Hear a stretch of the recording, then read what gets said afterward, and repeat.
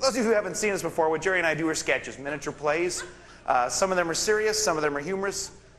We'll tell you which are which in case there's, or you may tell us which will be really sad. But hopefully, along the way, we'll catch a glimpse of the, the great joy that God takes in us and uh, the plans that He has for us.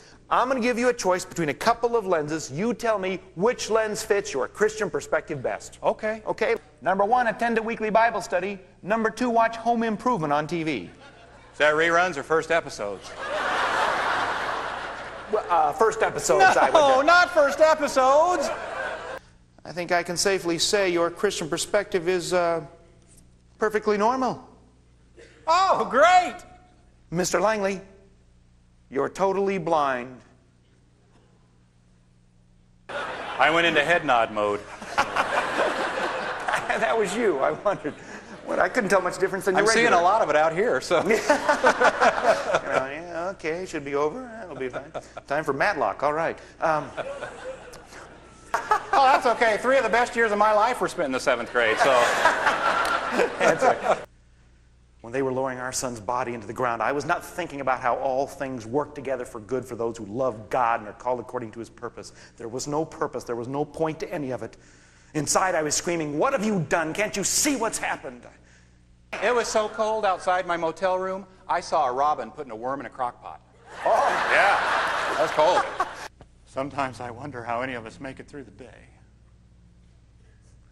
Yeah, just because you wore the dress to stay out of the military, that doesn't mean I. a long time ago, and they can't prove anything. So, So I took Jesus aside and I said, Jesus, you got to stop all this foolishness. There ain't no way you're going to die. And before I could take a breath, he spun on me and he said, You get away from me, Satan.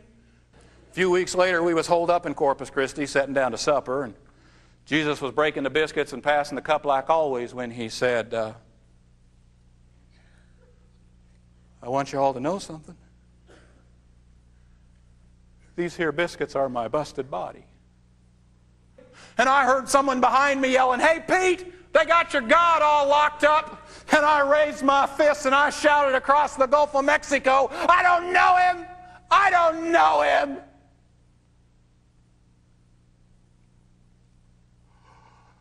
Uh, it was made out of genuine cat hair. Now, I know that sounds weird, but it looked great. But every time I scratched my head, my rump went up in the air. So that was really that was weird. I didn't know that. yeah. The Kellys. They just found out their boy has AIDS.